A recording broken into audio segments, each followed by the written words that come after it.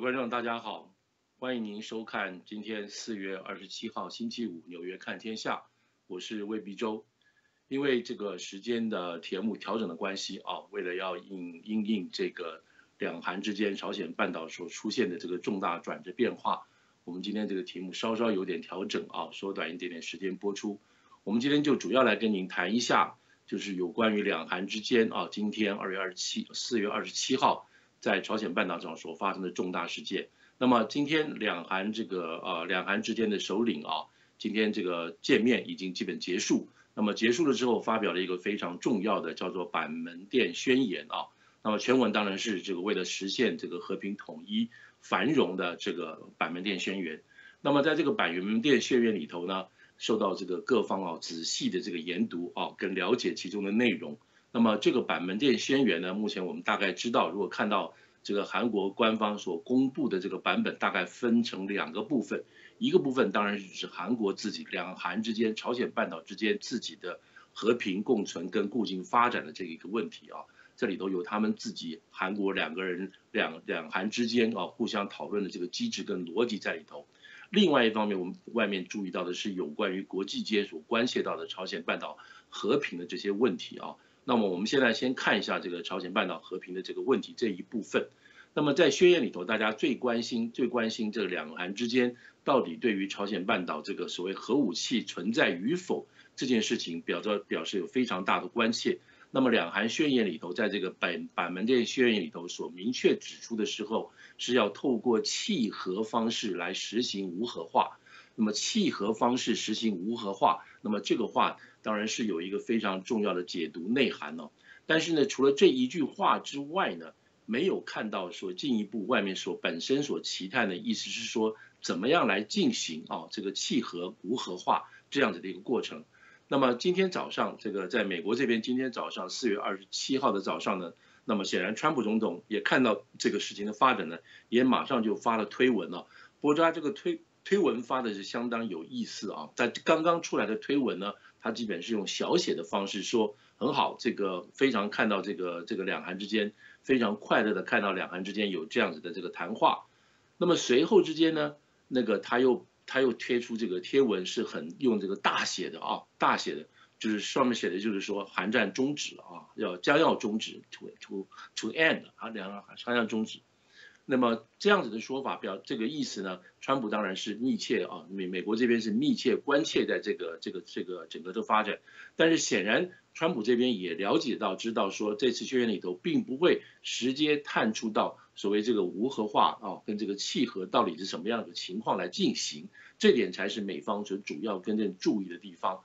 那么。这样子做，那么显然这个话语权呢就留下来给这个呃给这个川普跟这个金正恩之间见面的时候所可能要宣布的事情无核化的方式。换句话说，两韩之间对这一方面呢有所保留，保留的目的呢当然一定跟美国之间要并行详细的切磋商之后才会宣布。那么显然现在到目前为止还是没有进行太好的磋商，所以在契合化。这个无核化这个这个这个做法上，显然到目前为止还没有一定的这个共识。那么这个意思是指什么呢？在美方来讲，美方是希望啊，因为过去从六方会谈开始等等这些东西，从这个克林顿最早开始，已经对于这个朝鲜啊本身做样这样子的这种种种种各种这种答应要契合，或者是这个呃停止核试核设施，或者停止导弹设施，做出种种的这种承诺跟许诺。但是都没有一件能够实现的啊！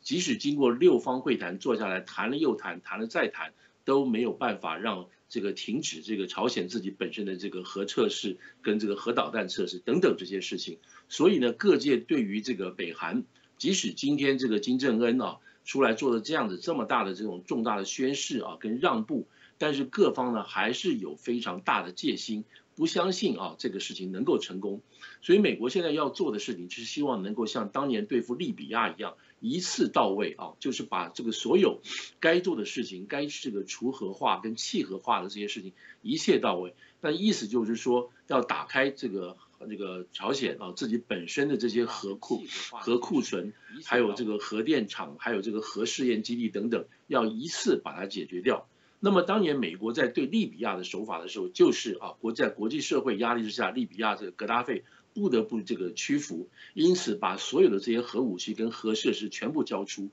那么在二零零三年，这些核设施跟核武器现在都被运，那当时都被运到美国田纳西州那边这个橡树岭的这个国家有关于这个核核国家实验室有关于核子方面设施的地方。那么那个时候据据报道来讲。那么越南的东西到现在都还没有拆封掉啊。那么美国当然希望，还有各方面希望是希望能一次到位，否则的话，如果啊当初这个让这个如果是用这种分阶段式的这样子来这个来契合或者是这个废核的话，那么每一个阶段都要进行重新的谈判，每一个阶段北韩都可能拿每一个一阶段来做下一个阶阶段谈判之间进食之间。做一个另外不同的这种经济上的这种这种要要挟啊，意思是说你能给我这么多东西，给我这么多的补偿或经济上援助之后，我会愿意做下一步。那么如此而来，就反反复复啊，周而复始，就不知道真正的这个契合化到什么时候才能够结束。所以美方这边所坚持的就是希望一步到位。那么照韩照这个朝鲜自己本身来说的话，是希望同时啊同步和同步进行，就是一部分这个一部分撤撤撤军，另外一方面要加强这个呃加强韩国这个朝鲜自己本身的安全意志跟措施，还有加强他的自己本身有关于其他经济建设的东西。所以就当时朝鲜来讲说，目前所这个金正恩所显示的是希望能够分阶段实施，那么美方这边是希望一次到位。特别是美方现在现在换了这个呃新的白宫国家安全顾问波顿上来之后呢，他这个人更是主张要一次到位，能够契合化解决的事情。所以到现在为止呢，今天所发表的这个板门店宣言里头，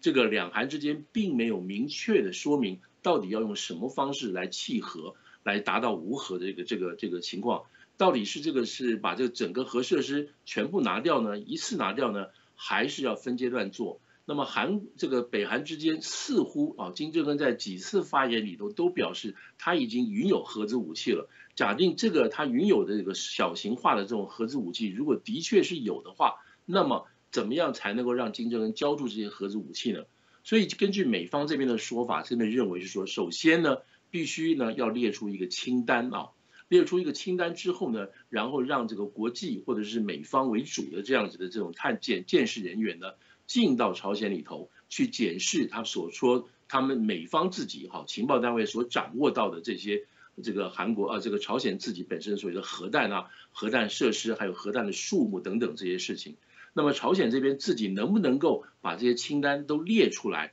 然后让这个国际社会打开来，让国际社会去检查，然后去拆除等等。那么到现在为止，当然可能啊，也许这个事情发展的太快。并没有提出这样子的这个确切的做法，但是呢，但是到目前为止呢，即使没有这个确切的做法，但是连这个提法啊还没有完全看到，所以这一方面对美方来讲呢，显然是一个比较顾虑的事情，需要能够在这个朝鲜的这个金正恩跟这个川普在五月或者是六月见面的时候，希望能有个明确的这个轮廓出来。那么相信就这点来讲的话。美方一定知道了，这个双方之间今天谈判的结果不会有这样任何的这种明确措施，所以现在是应该在加把劲，更加的进行这个美国跟这个这个金正恩之间啊对话的这个筹备工作。所以这一部分到目前为止呢，从这个板门店宣言里来看的话，并没有太大的进展，只是取得了金正恩的这个一个口头的说要契合化、无核化的这个角度来做。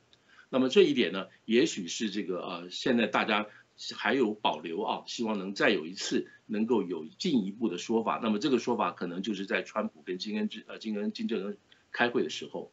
那么在另外一方面呢，有提到有有有关于所谓这个中战的这个情况。那么在板门店宣言里头有提到要在年内结束战争状态，这个年内并没有讲任何任何时间表。但是七月份可能是一个重要的时间，是韩国自己本身一个重大的节庆等等，所以也许七月到现在一个月时间、两个月时间，是不是有这种可能性？再来呢，在这个宣言里头呢，还提到说，假定这个进行这个呃中战决定的话呢，那么会起会还会举行一个美朝韩啊三方啊，就是朝呃北韩。南韩跟美国三方的这个会谈。另外呢，是不是啊？或者他这个宣言里头还加着，或者加上中国啊，就是中朝美韩这样子的一起的四方会谈。当然要停止状况。我们知道，一九五三年停止这个韩战的时候，这个时候只是进行啊，只是进行一个一个一个停战休休战的情况。那么中国当时也是参战的一方，因此假定要进行这样子的这种停战协定的话，势必中方必须要参加。那么这个角度来讲，中方到现在为止当然没有明确的表示，但是是应该中方要参加这样子的一个中战协这个停战协定。那么中国在这方面呢，也是密切的注意这些事情啊。那么这个新华社对于这今天这个整个发展，也是很快的做出这个这个这个报道。然后这个中国的这个中国外交部发言人也对这样子的情况呢，立刻表达这个评论，表示乐于见到韩国这个朝鲜半岛的这样子的种种和平和平性的发展。所以中方到这个事情呢，是相当密切的注意。当然在这里头，当然最紧张的啊，当然是属于日本了。那么日本多次希望。这个在两两韩之间这个这个谈判的时候，能够提到日本一点是一点点事情，特别是日本关心的就是日本民众被这个朝鲜被北韩绑架这个下落这个事情。那么在今天这一次的板门店宣言里头，没有看到这一方，没有看到这一点的东西。换句话说，没有提到日本所关切的这种两国这种国际间的事物。那么在两两韩之间呢，也看出来两韩之间有很大的这个共同努力的这个意愿跟迹象啊。那么综合来讲，这一次金正恩本身在这个两韩之间所做出的表现呢，让韩国人相当窝心啊。那么譬如说这个金正恩呢，也很这个幽默的向这个呃文在寅表示说，这个听说你常常在半夜被叫醒啊，去参加这个国家安全会议啊，我希望我们的这个试射，我们这个导弹设施没有造成你的睡眠不安了。那么这个文在寅就说，这个以后呢，我的睡眠会更加好了，这个和平就来到了等等。那么金正恩呢也很坦率的啊，在这个文在寅要求他是不是能够去这个平壤访问的时候，那么这个金正恩当然是答应，但是也说我会很难堪的啊，因为金正恩了解，他也跟这个这个平文在寅了说明，这个北韩的各种这个基础的设施啊都不如韩国。那么就韩国自己本身来讲呢，也相当的惊奇啊。看到这个北韩这样的这个高这个最高元首能够有这样子的这种比较低姿态的表态，所以这个这一次会议来讲呢，就双方来讲是相当比较这个呃这个呃顺利跟平和的。美国纽约时报在今天早上刚刚做出来评语，就用一个说，在一个巧妙的这个安排啊，巧妙跟事先预演跟排演的一个。一排演排演完善的一个这样子的情况下，根据剧本来演出，那么两韩这一次的这个会谈呢，终于圆满结束结束，也有一些让大家这种的这个额外的吃惊的地方啊。他举的一个例子是说，当这个我这个呃金正恩啊跨过三十八度线的时候呢，跟这个文在寅小小的这个街头。街头接耳讲了几句话之后呢，又邀请了这个文在寅两个人再跨回北韩这一边的三十八度线，象征啊南北韩都这个这个主要的首领都在这个都跨越了这个双方的这个领土啊。那么在美国《时纽约时报》来讲，那这个对他们来对外国来讲，这是一个相当啊让人家意外啊又又觉得很这个很自然很顺利的一个一种做法。那么到今天为止呢，这个两韩之间这个话，这个重要的这个会谈算是暂告一个段落啊。两韩之间呢，已经互相承诺啊，要尽快的恢复两韩之间各种交流、各种的这种呃各种交流，还有各种这种互相互信的经济建设。譬如说，南韩就要去帮助北韩啊，去建筑一些道路啊，还有一些铁路的设施。那么同时，从五月一号开始呢，也就马上的五月一号开始，两韩之间呢就要停止有关于新战喊话，还有任各种一切军事行动跟军事演习这些行为。那么更重要的是，韩国人自己本身很关切的，要在要在这个六月十六月中旬啊，举行这个这个这个这个相互团结、寻亲认亲的这个活动。这一点可能是两韩之间最重要，对老百姓来讲最重要、最值得关切的事情。那么这一次的这样子的呃这个会谈终于啊在这个没有意外，而且大家是在事先预测下的话，呃完全这个完全成功啊。那么当然这个文在寅自己本身的功劳是相当大的啊，在外界这边有些评语认为这个文在寅呢在这一次这个和平朝鲜半岛和平的过程当中，目前所看到的和平过程当中出了很大的力啊，他锲而不舍的啊，周旋在中国跟美国之间啊，如何能够这个，然后让这个再把这个金正恩拉下来，能够能够促进这样子的活动。当然，这个文在寅的功劳很大，但是到外界目前为止呢，还不愿意把这个功劳啊，把这个最主要的功劳给这个川普总统啊。那不，如果不是川普总统在这个年初啊，派出重大的这个这个军事三艘航空母舰战斗群啊，给这个这个朝鲜带来这个极大的军事压力之外，另外还有重要的不断的一次又一次上紧箍咒式的这种经济制裁，让这个这个这个金正恩感觉到啊，这个这个完全不能够呼吸的这样子的经济活动，再加上中国也这个也帮助美国啊停止对于韩国对于这个朝鲜。各种重要的经济援助等等，那么终于让这个这个这个金正恩呢愿意啊改变自己的想法，然后能够找这个伸出这个和平之手，能够希望国际的大家庭能够接受，能够接受他。那么现在我们就是要注，当然这个焦点，这个两韩之间的这个呃会面终于落幕啊。那么剩下的事情呢，是韩国跟呃北韩之间他们自己讨论自己国内的一些重大的措施。那么这，大家的焦点呢，就移到了川普跟这个新政跟要见面的情况。大家可以大概预见的两件事情应该会发生。第一个就是这个南这个北韩这个朝鲜跟美国之间可能会宣布建交啊。如果是宣布建交的话，当然就是结结束了这个彼此之间的这个敌对状敌对状态。那么如果是这样的要发生的话呢，那么之间啊，是不是这个这个中战中战停止中战停止这个协议呢？要在他们两个人见面之前就要举行啊，所以这个是值得观察的一点。因为这个中战这个情况，就双方来讲，基本上实质上的这个条件啊，这种开战的条件已经不存在了。双方坐下来，在一个礼拜到两个礼拜，如果能够行动的话，是有可能这个。这个这个美朝韩或者是加上中国四方坐下来签订这个停停战协议，这都是不是并非不可能的事情。那么再来再加上这个美韩之间的见面呢，可能就包括了如何啊这个说明这个契合的这个整个的这个时间表跟这个啊最终的结果是什么。